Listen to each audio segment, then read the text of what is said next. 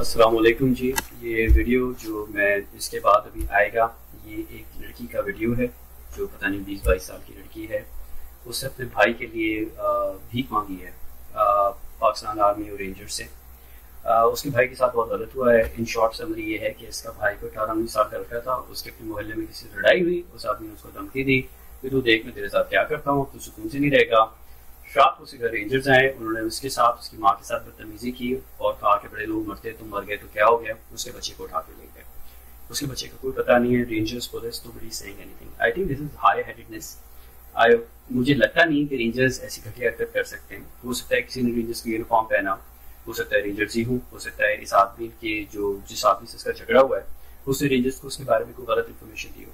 But anyway this case should be investigated उसका ID card number वगैरह उसके भाई का मुझसे पढ़ा जा रहा है वीडियो से वो मैंने नीचे लिखा हुआ है। इस वीडियो के नीचे कॉमेंट जो डिस्क्रिप्शन होता है उसमें आपको नज़र आ जाएगा।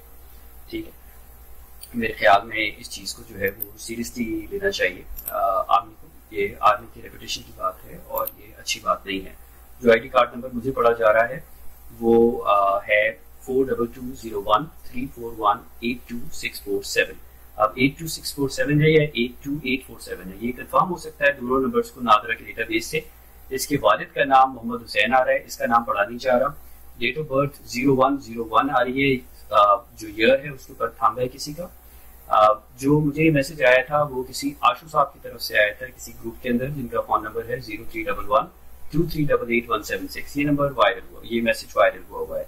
और ये काफ़ी लेजिटिमेट मुझे लग रहा है। I don't think it's a fake message और समथिंग तो I hope the army chief takes notice of this and so does DG rangers and corps commander Karachi this is not right ये army के image के लिए अच्छा नहीं है। मैं और मेरे जैसे मिलियंस लाखों पाकिस्तानी जो है वो आर्मी के ऊपर बहुत ज़्यादा यकीन करते हैं और फख्र करते हैं। आर्मी की तरफ़ से किसी किस्म की कोई हाई हैंडेडनेस किसी सिटीजन के साथ नहीं होनी चाहिए। ठीक है? और अगर हुई है तो उसको फॉरन करेक्ट होना चाहिए, उसको एक्सेप्ट होना चाहिए, जो रिस्पॉन्सिबल आदमी है, उसका कोर्ट मार्शल करना चाहिए। ठीक है? असलकुम मैं कराची से बात कर रही हूँ। और मेरे भाई को रात तीन बजे रेंजर्स वाले लेकर गए हैं। हमारे मोहल्ले में एक लड़का है जिसने मेरे भाई से लड़ाई करी। लड़ाई करने के बाद मेरे भाई को धमकी दी कि तू अपने घर में अब सुकून से नहीं रह पाएगा। उसके बाद रात को रेंजर्स हमारे घर पर आई है। हमारे मेरे भाई को लेकर गई। मेरे भाई का एनआईसी लेकर गई। और मेरा भाई का कुछ पता नहीं चल रहा। हमने चीफ जस्टिस को दरखास्त दिए। गवर्नमेंट सिंध गवर्नमेंट के हर जगह पर हम गए। रेंजर्स डीजे को दरखास्त दी है मैं आप लोगों से दरखास्त करती हूँ। मुझे मेरा भाई लाकर दे दो। मैं यतीम लड़की हूँ। मेरी माँ बेवा है दिल की मरीज़ है। मेरा कोई कमाने वाला नहीं है। मेरा सिर्फ़ सहारा वो है। और मैं अल्लाह का वास्ता आप लोगों को देती हूँ। मेरा ये पूरा पूरे पाकिस्तान में जितने भी लोग हैं आप सबके उन सब पे ये आवाज़ मेरी पहुँचाए मेरा भाई मुझे दे दो। मैं आप लोगों का फरियाद करती हूँ। मेरा भाई मुझे दे दो। वो मेरा छोटा भाई है, उसकी उम्र देखो 19-20 साल का बच्चा है वो, और उसको लेकर लापता कर दिया गया है। हम हर जगह जाते हैं, हमारे इलाके के लोग हमारी सुन नहीं रहे थाने वाले हमारी नहीं सुन रहे हमारे मोहल्ले के काउंसिलर हमारी नहीं सुन रहे। मैं आपके आगे फरियाद करती हूँ मैं नवाज़ शरीफ शबाज शरीफ सबसे दरखास्त करती हूँ कि मेरे भाई को जल्द से जल्द मेरे सामने लेकर आए। मैं आप लोगों के आगे फरियाद करती हूँ हमारी कोई नहीं सुन रहा।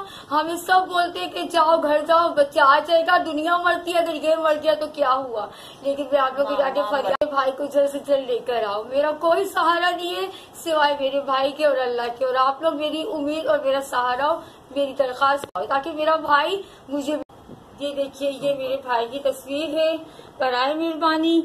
इसकी तस्वीर के साथ मेरी आवाज़ को हर जगह पहुंचाइए, ताकि मेरे भाई का पता चल जाए। मेरी माँ बीमार, परेशान, ये देखिए मेरी माँ को देखिए आप। ऊपर अल्लाह है, नीचे आप लोग को। बस मेरी मदद करो, मैं दिल की मरीज़ हूँ। जब रेंजर साई में बोला, भाई, आप मुझे मार डालोगे। बोला, दुनिया मरती है तुम मर गई तो क्या होगी मुराद अली शाह से मैं दरख्वास्त करती हूँ, मेरे भाई नादी को जल्द से जल्द ढूंढ कर मेरे आगे ले आए। मेरे भाई को जल्द से जल्द मेरे पास ले आओ।